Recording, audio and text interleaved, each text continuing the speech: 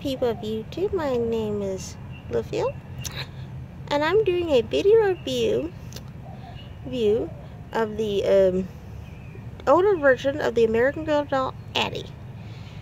I got her a long time ago, and I just love her. I wish the company had kept had kept the doll originally was because I just just love this pink pink dress, her original meet outfit meet outfit though. Just, I just love her. When I first saw her, I just fell in love with her.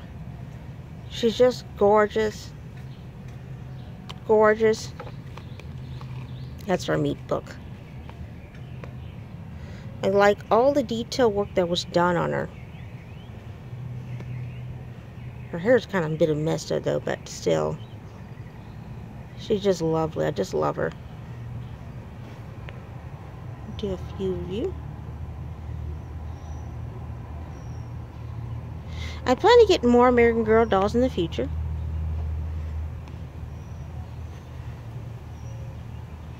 Love the sculpture work on this doll. Lovely. What made me want to get her a long time ago was her story. Her story, though, about uh, being an African American during the Civil War, being a slave, running away, trying to trying to find freedom in a new world, new life, the struggles, the hardships, the triumphs. Just an inspirational story. If I ever have a little girl, I'm I do plan to give her this doll. Again, I just uh, just love her. Show you the back.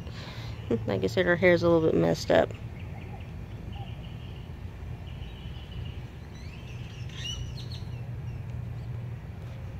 Mm-hmm. Ooh, let straighten over a little bit. Thank you for watching my video. Y'all have a wonderful day.